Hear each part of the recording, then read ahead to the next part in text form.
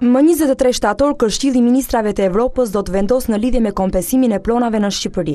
Mbledhja është vendosur pas një kërkese të avokates së shtetit Alma Hicka. Sipas një letre që Shqiptarja pikë com disponon, avokatja e shtetit i ka kërkuar Këshillit të Ministrave të Evropës që të lehtësojë procedurat e kompensimit të ish-pronarëve në Shqipëri, për shkak se faturat janë shumë të larta.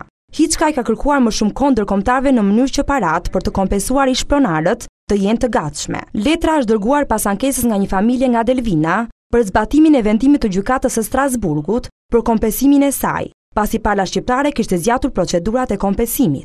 Në letër theksohej se kompensimi për rastin Delvina do të bëhej pa vonesa të tjera.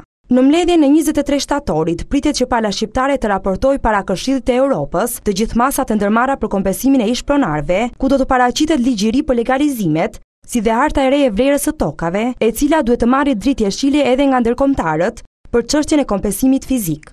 Aktualisht janë rreth tetë mijë e pesëqind dosje të cilat janë të pashqyrtuar nga Agjencia e Kthimit dhe Kompensimit të Pronave, të cilat duhet të rihapen për t'u shqyrtuar, pesë mijë e pesëqind të pahapura asnjëherë dhe dy mijë e tetëqind ende në shqyrtim.